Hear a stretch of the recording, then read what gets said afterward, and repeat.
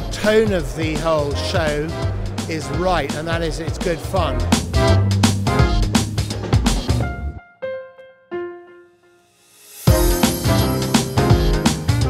What I found surprising was the quality of people that we've met. Imbibe has added uh, something a little bit more special. I want to meet the top people. It seems like they're all here.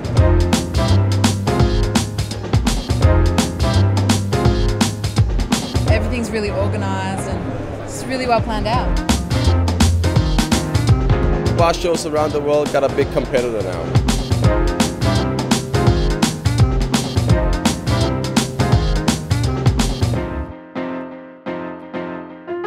We've had really good top quality hotels and we've had some really funky gastropubs and a real good cross section of the industry really to be honest. I think the quality of the guest is is excellent. It's bar managers, it's bar owners, pub owners, restaurant owners, restaurant managers. People can really make a decision.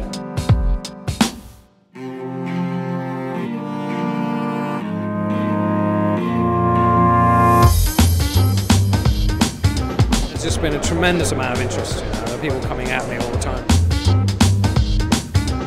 All the seminars have been very, very interesting. Everyone's been really friendly, really helpful. It's great to meet people face to face. Pretty much what I've always seen on the magazine and on the website.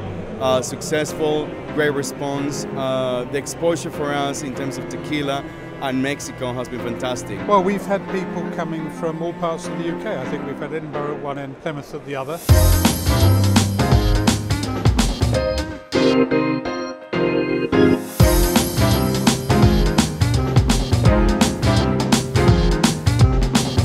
Good so far. I think we've met a lot of good contact.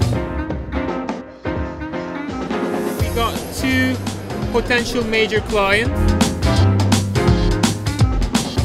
So far, we've had nothing but good people.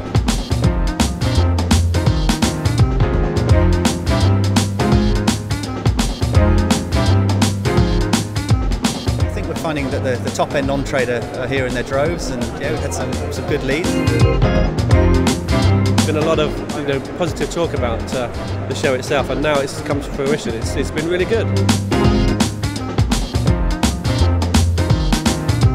It's very versatile. You have wines from from all over the place.